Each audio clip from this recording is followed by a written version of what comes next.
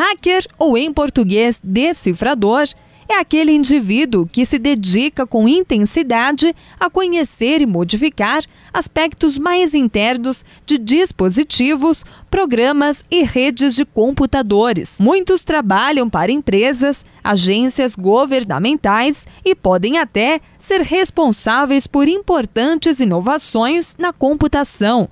Mas em contrapartida, há aqueles que se tornam perigosos e uma constante ameaça para a sociedade. Ele aproveita de vulnerabilidades dos sistemas, tanto do sistema operacional que toma conta da máquina, como também do, das ferramentas que são é, instaladas na, nas máquinas.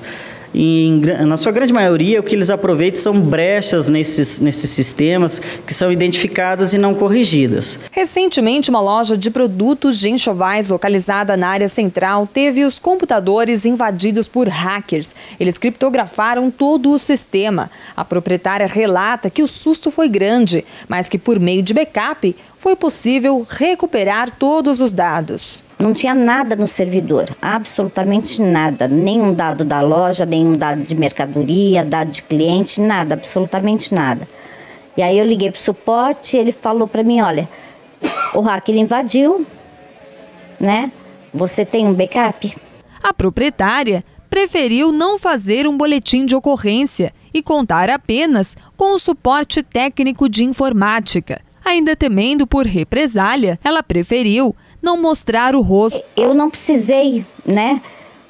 Não tive grandes prejuízos, não, não precisei, porque nós fazíamos backup todos os dias, o suporte me ajudou a colocar todos os dados de volta, né? E é um, é um, um, um processo muito demorado, né? Mandar a máquina para a polícia e eu preciso do meu servidor.